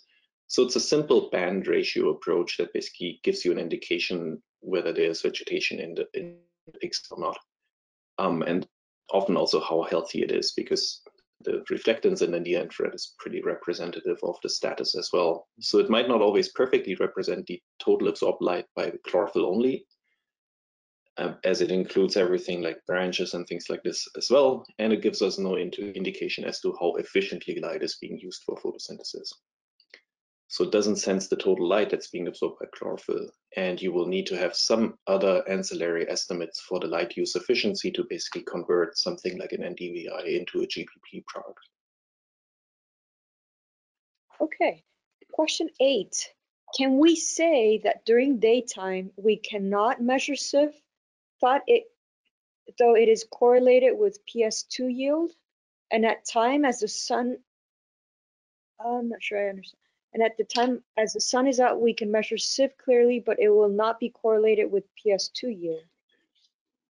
Yeah, my, my apologies if this was um, misunderstood the way I phrased it. Um, so we, strictly speaking, we can only measure SIF if the sun is out, because that's basically part of the name. It's solar-induced chlorophyll fluorescence. So the sun has to be the light source to be able to measure SIF. So what you're doing with PAM is you're not measuring SIF because you have an artificial light source. So we measure it only if there's a light source out there, in our specific case, the sun. Um, at very low light, you're right, the PS2 and the fluorescence yields may be anti-correlated, um, but during midday they, uh, they are correlated again. So using the techniques that we outlined in the talk, we can actually separate the sunlight uh, from the fluorescence signals and thus measure SIF directly even in sunlight basically we just block off the sunlight a little bit in these so-called Fraunhofer lines. Not perfect, but using these techniques, we can separate out the contributions from kind of your light bulb, the fluorescence at the bottom, and the reflected sunlight. All right, question number nine.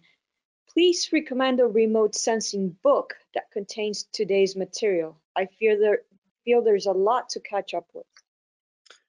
Thanks. Yes, I hope this was not too much of a buffer overflow today. Um, so for that reason, I refer to some of the overview papers at the end of the talk that might be a little bit easier to digest. So feel free to take a look at those again on slides. The order there might be the other way around. Um, we can also try to post the links to these papers directly um, on here. Some of them should be public access, um, open to everyone. Um, some, not all of them might, but there's not yet a really good book on that. Um, but we can also try to find, for instance, one thing that would might actually be quite helpful is, for instance, Philipp's PhD thesis.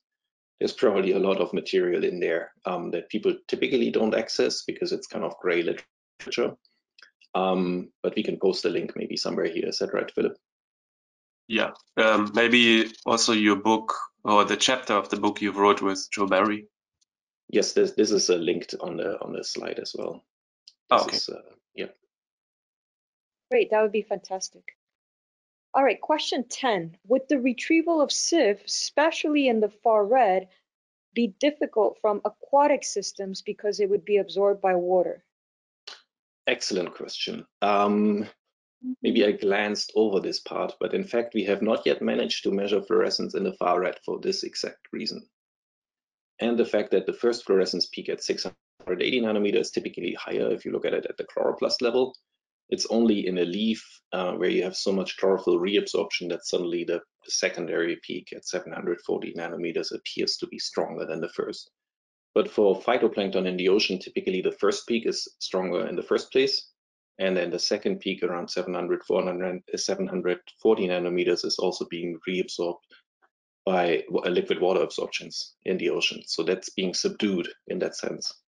So what we've shown you for fluorescence over the oceans is actually all measured in the red spectral range, not in the far red spectral range. Good question. Great, great. All right, question 11. Can SIF be used to monitor habitat restoration? Um, in principle, yes, but um, I, I, should honestly state that for some tasks, it might really be overkill. So there's things that, that SIF might be ideally suited for, But for things like habitat restoration or in general, if you want to track like the greenness of your backyard, simple vegetation indices might actually be better in that case, as it provides kind of a better spatial resolution and you can observe changes in habitats fairly well. Um, so with fluorescence, we are still working at the kilometers resolution at the moment. Um, whereas with uh, imagers, you can go to like 30 meters resolution on Landsat resolution, things like this, which might be much better to really detect kind of finely grained changes in habitat restorations. It depends a little bit on the purpose. If you're interested in tracking like a 50 by 50 kilometer area, then yes, fluorescence might be a reasonable choice to look at as well. But if you want to uh, detect changes at the sub-kilometer level, uh, MODIS, Landsat, and the like will be much better suited. Great. Question 12, Dan, this is related to a question, uh, two questions ago. What about having an idea over phytoplankton species distribution and density via these measurements? Uh, that's a good question. We haven't, what we do right now is we only measure the fluorescence signal. Um, we have no idea yet what kind of phytoplankton species this is, whether it's kind of um, that's hard. Uh, the photosystem itself should be the same for both. So the mechanism as to how fluorescence is being generated in the process should not really matter in that case. Um, we might probably need some ocean color additional information to actually get some information about the phytoplankton species distribution. But that's a good question, but it's a little bit out of uh, our comfort zone because we, we just started kind of working on the ocean. And this is an area that we are trying to explore ourselves, but we are just in the uh, initial steps because we are so focused on land at the moment. Okay. Also, you, you you could say that uh, maybe the spectral shape itself could could give us some insights in this respect, but on the other hand, um, you have so the spectral shape will also change uh, depending on the depth where the uh, where all those phytoplanktons are. So it's a really hard task to to do that, at least with our tools right now. Okay, question 13. Are there other spaceborne sensors used to measure SIF? And this is something that Karen Yuen will cover on Thursday, but uh, maybe you can uh, discuss discuss this a little bit here, Karen? Yeah, just a quick answer. All the sensors that can do this are listed on this climatesciences.jpl.nasa.gov slash SIF website. Um, so there are some mentioned already here, like GOSAT, OCO2, OCO3, TROPOMI, GOME, GOME2. I should stress though that none of these missions have been designed to actually uh, work on SIF. All of these are air quality missions that have been designed to measure trace gases in the atmosphere, uh, we kind of take them and abuse them to measure fluorescence. The only dedicated mission that will fluorescence will have fluorescence as its real target, mission target, will be the Fluorescence Explorer mission FLEX from the European Space Agencies. But this is not yet flying. Great. So, Christian, when is FLEX intended to fly? Uh, good question. I, I, I don't want to give an answer right now because I I don't really know. I would have to look it up. What what I think it's scheduled for 2024. Yeah. Okay. All right, great. So, uh, question 14. Can you summarize some applications for SIF? Good question. Um, I should have read that that question earlier that so that I can prepare well. Um, the first application that we basically had was finding that fluorescence is an excellent proxy for GPP, um, much, much better than we expected. So to some degree, this linear, near linear behavior at coarse or spatial and temporal scales is kind of a, a, an excellent framework with which that we can use to basically estimate, give estimates of GPP across the globe using fluorescence measurements. Especially for areas areas like evergreen forests, um, this actually turned out to be a much, much better proxy than anything else that we have at the moment. so this is definitely one application where we have a better proxy for GPP, despite some of the caveats that I mentioned before. Um, at the same time, so our big other hope is that we can also detect stress a little bit earlier than some of the other vegetation measurements, because in principle, we should have some signal of the fluorescence yield in, uh, in the PS2 yield through fluorescence as well. So in principle, fluorescence should go down a little bit under stress, even if the leaf itself doesn't really change its pigment, its pigments. That would be uh, one other application for fluorescence from space. This is sometimes still a little bit hard to detect directly because we have to average in time and space as well over more like an eight day period. And then quite often even leaf pigments change. So these are some of the, um, the other part is there's many, many regions on globe where MODIS or other images might sometimes not have great coverage because there's for instance, in the Amazon, there's frequent cloud cover. So fluorescence might actually give us an insight through clouds as well, which is also highly important because quite often we don't actually know exactly how much photosynthetic active radiation is reaching a canopy under cloudy conditions. So in that way, fluorescence might be a more unbiased proxy for true APAR even under cloudy conditions and not just clear sky conditions. We can try to summarize more later, but off the cuff, this was what kind of came up in my mind. Maybe to add on top of the GPP, uh, it's from a broader perspective, it's also just to to look at the seasonal cycle of photosynthesis in the first place, especially for evergreen needle-leaf forests, which always look the same, but they might not be active or they might already be active. And that's what we see earlier with fluorescence than with other um, vegetation indices, which might be also affected by snow coverage, uh, where we don't have as many problems.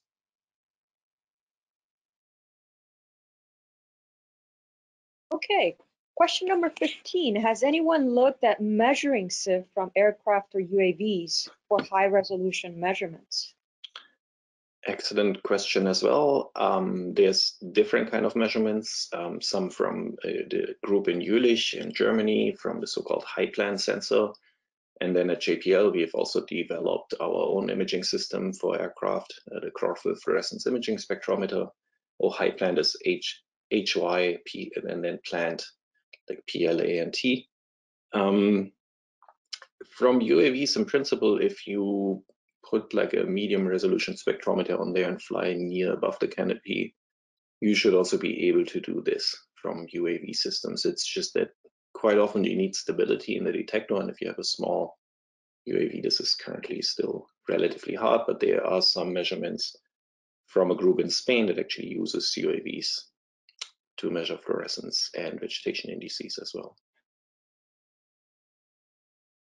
All right, question number 16. How do you know NPQ is equal to zero for stressed ver, uh, vegetation? Oh, um, maybe this was also NPQ is not zero for stressed vegetation. Um, when NPQ is NPQ equals zero if a leaf is dark adapted. So you can think of it um, if you take a leaf, even if it has been outside in the sun, and put it into like a dark chamber so that it doesn't see any light, slowly but steadily, all these non-photochemical quenching mechanisms will relax and go down to zero. This is the reason why in these PAM measurements that I mentioned that you basically look first at a dark condition of a leaf and then you put it into light because that's the only way to do perform some measurements where Kn is at its lowest. If is not sustained non-photochemical quenching. So there's a difference in evergreen overwinter, overwintering plan, uh, plants. There might still be NPQ going on at night. Might not go to zero because it's sustained long-term quenching. But the dynamic one typically is going down to zero, so that Kn goes zero in dark conditions. But it might take 15, half, 15 minutes, half an hour, up to an hour to fully relax and reduce the NPQ to its minimum. I like to view it as so NPQ or fluorescence as the fastest mechanism to dissipate energy. And NPQ has basically two different regimes. One is on a daily level and one is on a seasonal level. So that might help to um, yeah, just digest it a bit. All right, question number 17. What does the plant re-emit, why does the plant re-emit parts of the absorbed light by fluorescence? The simple answer is probably it can't help it. It's an intrinsic property. It's basically the lifetime of the excited state of chlorophyll fluorescence, uh, of a chlorophyll molecule. So it's basically a natural process that would happen with chlorophyll anyhow, even if the plant is not embedded around it, if you have a pure chlorophyll solution. Um, the thing that plants do, they have other mechanisms to quench the excited state of chlorophyll even faster than fluorescence. So this is happening through photosynthesis or non-photochemical quenching, but in principle, the plants can't just do anything about it because it just happens with a chlorophyll molecule. At the same time, it doesn't really hurt. It's only a small fraction, around 1% of the energy that's getting lost that way, which is at the end of the day, nearly nothing. So it's not kind of a huge energy loss term for the plants, but it is something that the plants can't control. Okay, question number 18. Can you comment on large-scale SIF uh, how it's closely related to APAR, to GPP. Um. Okay, so I assume that the question is meant, um, let's say we take a measurement over like an entire hemisphere.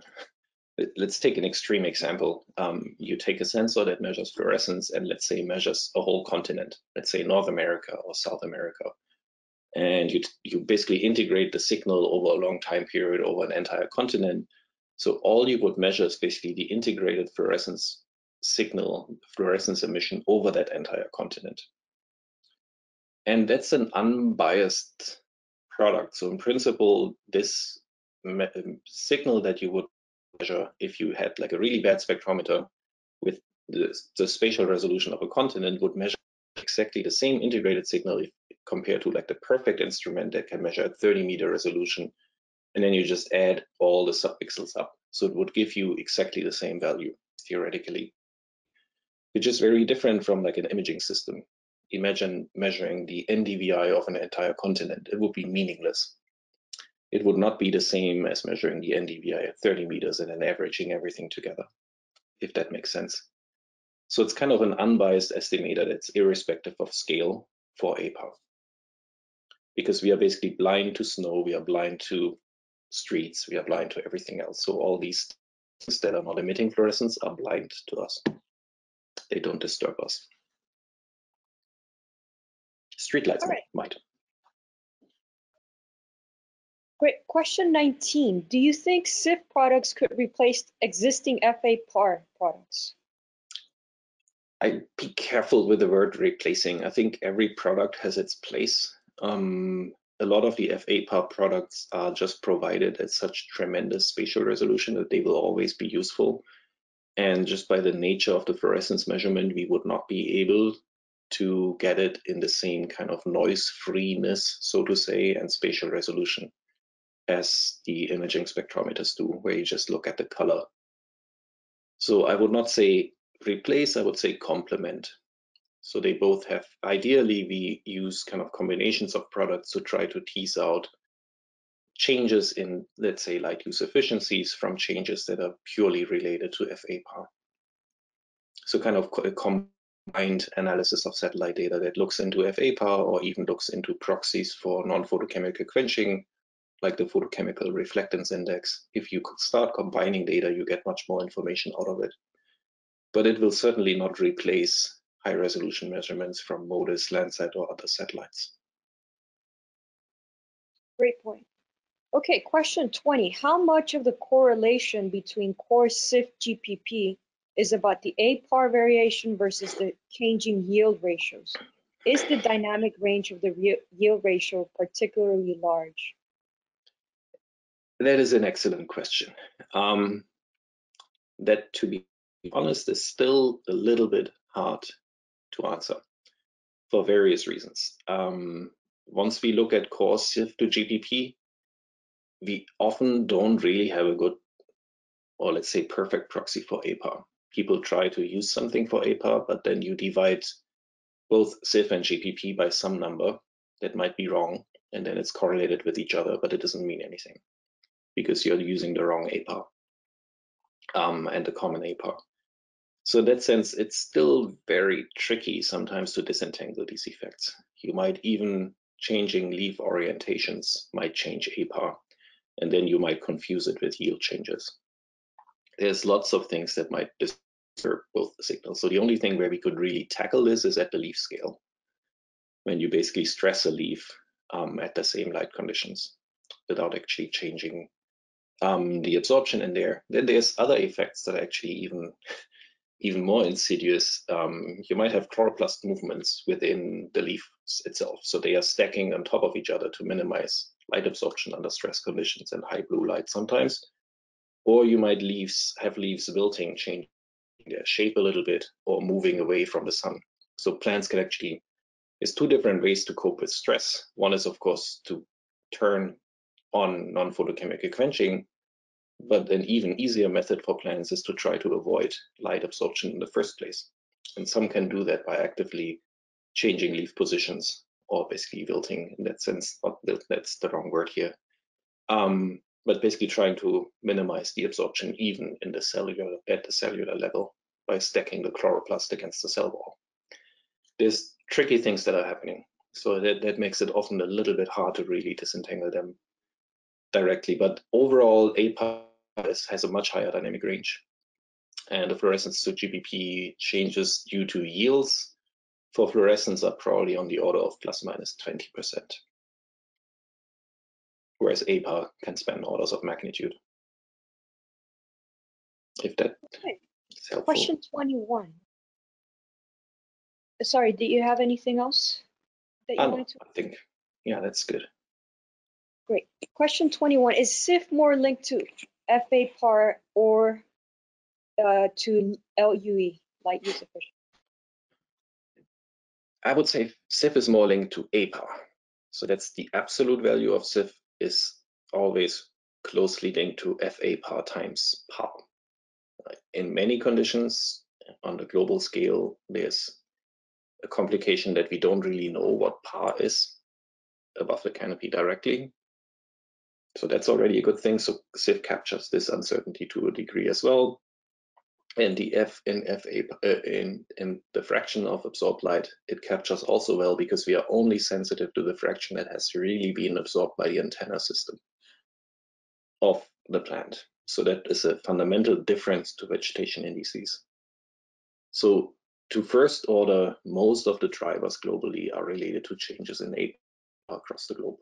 The light use efficiency part is always a second order effect that might modulate uh, the yields and fluorescence on the order of plus minus 20%, roughly. But at the same time, again, if you look at a canopy, there are not every leaf is the same. So leaves at the top of the canopy might actually experience much more light stress, so to say, than leaves that are in shaded conditions. So this mixture there is, is, is one that we have to deal with as well, because stress is not evenly distributed across a canopy in the vertical domain. Okay, question 22. Is your fluorometer experiment, or in the fluorometer experiment, why is Kp equal to zero when there is no light at the beginning in the dark stage? I mean Kp max at the beginning dark stage. Oh, okay, so he's meaning Kp max.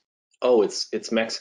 It basically means that if it's dark, no um, no photosystem is closed. So that the theoretically maximum rate of Kp is is highest. So you basically have every little light that you put in there, which is basically this modulating light beam, can be quenched through Kp directly. So no photosystem has been closed at that time. That means you have a maximum um, Kp yield at that time. Whereas if you give it that, that, that flash, which is in terms of par units, probably around like 8,000 micromole per square meter per second, it's so bright that the plants can't really quench the energy fast enough. So that basically forces the photocenters to close. So no light can be funneled through that anymore. And that's how you set KP to zero once you flash it with a saturating light beam. But try flying something like this on a spaceborne satellite. That's not going to work. Okay, question 23. Is it possible to differentiate between healthy vegetation and ill vegetation or disease vegetation with SIF data?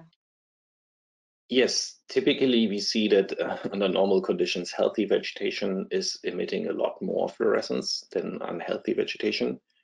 Quite often they would also show quite a difference in their vegetation indices. Um, but at the same time, we also see that, let's say, a forest system that might have an FA-PAR of one or near one um, is emitting much less fluorescence than a healthy corn canopy, which also has a, like an FA-PAR of around almost close to one. Um, so in that sense, we always see fluorescence over like um, agricultural areas to always be highest across the globe, not only in the US. With Tropomi, we see many more agricultural areas across the globe the corn belt in the US is just something that that really glows up in the summertime and has the highest peak fluorescence values across the globe. So in that that sense, it really reflects the intense uh, productivity of corn, like any agricultural area, which are typically very healthy because they've been designed to be that way. Great. So question 24, there are multiple parts to this question. The first part on the SIF data, can we use SIF data in a GIS software? That's been answered above. But then there's uh, the other parts. How does SIF differ from NDVI? What's the SIF accuracy in percent? And can we detect water stress? Okay. Um, so how does it differ from NDVI? Um, it's mostly kind of the spatial resolution um, that in NDVI is just much different. What we can't really do um, at the fine spatial scales, um, but I think the the difference to NDVI kind of we answered a little bit beforehand already, so that NDVI in principle captures only kind of a band ratio approach, kind of the greenness of the plant. It's basically a ratio in the far red around this 850 nanometer range and in the uh, red spectral range um, so I don't know whether this appropriately answered this question. SIF accuracy in percent. Yes. Maybe mention here that uh, so NDVI or greenness in general is rather referring to capacity, while fluorescence is more activity. Yes. Yeah. That's a good point. So NDVI might give you a, a, theoretical upper limit of what a canopy can do. What it actually does might not always be fully captured. SIF accuracy in percent. Um, I want to stress that we have to distinguish precision and accuracy. So I would say SIF is typically very accurate, but, but imprecise. So a single measurement of fluorescence can have errors of 50% easily um, related to its kind of absolute value. If you measure fluorescence over a non-vegetated area, then the, the SIF precision in percent of the background signal is basically in, infinity um, because you divide by zero. So SIF, a single measurement is often noisy. Um, just because we have to measure it in the way that, that we outlined before. That's why we have to average data in space and time to actually look at causal spatial and temporal averages. Um, but it is important to keep the precision in mind and what we always do for each and every individual point that you will get from us from space, we will give you the fluorescence value and we will give you an estimate of the one sigma precision error in there, which is the purely noise related one, which basically translates how noise on the detector, similar to your digital camera, translates into noise in our retrieved properties. So this is something that we compute during the retrieval process from first principles. So it's a very accurate measurement, accurate error estimate. And once you start to aggregate or average soundings over one area, you basically scale your uncertainty by the square root of the number of observations. So let's yeah. say you have uh, nine observations and you decrease your uncertainty by a third. Yeah, that's a very good point that Philipp made. So in our case, all the precision errors are perfectly uncorrelated. That means that we can basically use proper error propagation, and then typically you reduce your error in the mean by uh, the, you basically have to divide it by the square root of n, square root of the number of measurements that you averaged over. All right, so we're coming up at the top of the hour. How about uh, two more questions and then we'll close this off? Uh, next question, which case on a sunny day versus a cloudy day shows a better relationship between GPP and SIF?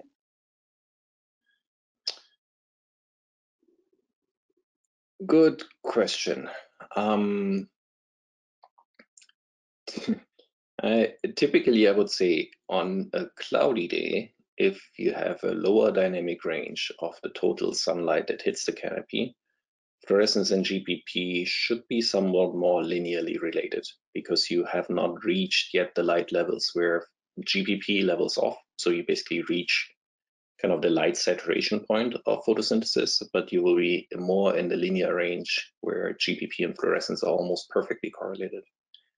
So under fully bright sunny skies, there we often see both in measurements and theoretically a slight non-linearity between fluorescence and GPP.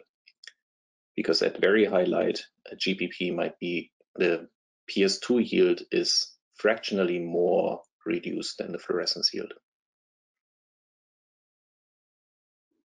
All right, and then one more question. Question 26, is it possible to combine SIF with other remote sensing data, such as, for example, Landsat? And can it be used to monitor multi-temporal above ground biomass changes or modeling? Um, to the first part of the question, yes, it's absolutely possible to combine SIF with other remote sensing data. Um, Landsat is, of course, very high resolution, so there might be more of a discrepancy because you will have to aggregate lots of Landsat data to represent the fluorescence footprint. MODIS might be better suited in terms of spatial resolution. So you have like a 500 or 250 uh, meter resolution, and there's lots of studies that combine fluorescence and, for instance, MODIS data to downsample the fluorescence products from its coarse spatial scales to finer spatial scales. Alex Turner has done wonderful work in the US or for California. Um, can it be used to monitor multi-temporal above ground biomass changes? Um, yes, in principle, if above ground biomass changes change kind of APAR in that sense, or some of the other efficiencies, we should be able to see changes in there as well. But in some cases, it might be better than to combine with other measurements. Let's say LiDAR measurements would be probably multi-temporal LiDAR measurements would be much better to detect changes in the structure than fluorescence would um, plus Landsat and MODIS data would also help in that case. So yes, I would say if you can, it's great to combine it with other remote sensing data. Great. So we'll uh, wrap it up here. There are a number of questions we didn't get to, but what we'll do is, as mentioned, we will um, respond these on the document and we will be posting the document. So I want to thank uh, Professor Frankenberg, uh, uh, Philipp and, and, Karen and all of you for your attendance today. Um, before I close it off, uh, Professor Frankenberg, would you like to say anything? Yeah, this is um, exciting to have more than 500 people in a, in a, in a study like this. This is probably the biggest audience I've ever spoken to. Um, great to see this interest and curiosity and great questions across the board. So um, keep that up, please, and try to embed fluorescence in your research if you can. We would be very excited about that. Wonderful, I'm sure they will. So uh, tune in to uh, Thursday where uh, Karen and Philipp will be talking about uh, the, the different SIF uh, satellites in space and then uh, a demo on how to use TROPOMI and OCO2 data. So thank you all very much, and uh, we will uh, connect again on Thursday at the same time. Have a great Thank day. you, everyone. Bye. Thanks, Erica. Thank you.